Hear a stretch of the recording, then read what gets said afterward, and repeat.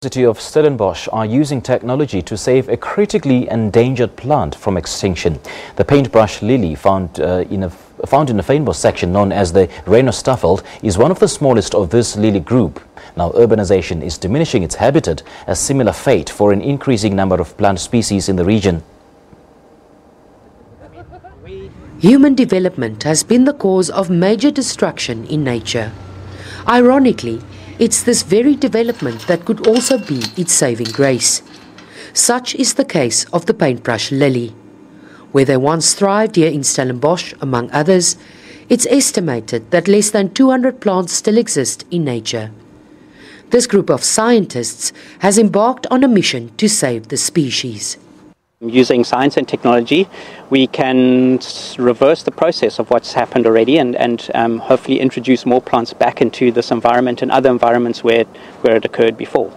So, for example, there's a development around one of the schools nearby that we would like to, to introduce the plants into a wetland uh, rehabilitation program. So, ideally, we would like to save this population, get it to be self sustaining.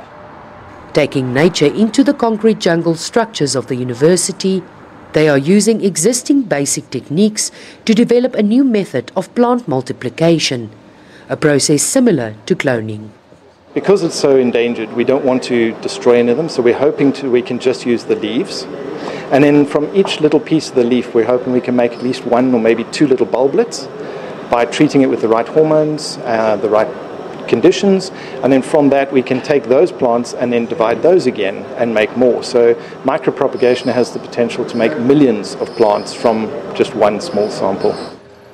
And the next generation of scientists are already on board.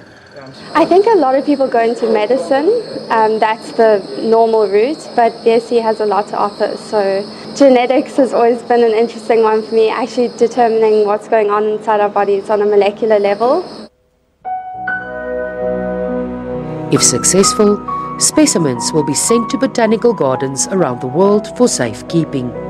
And saving even the smallest paintbrush lily could one day prove to be the saving grace of the great balance of all life on Earth. Mariska Botha, SABC News, Stellenbosch.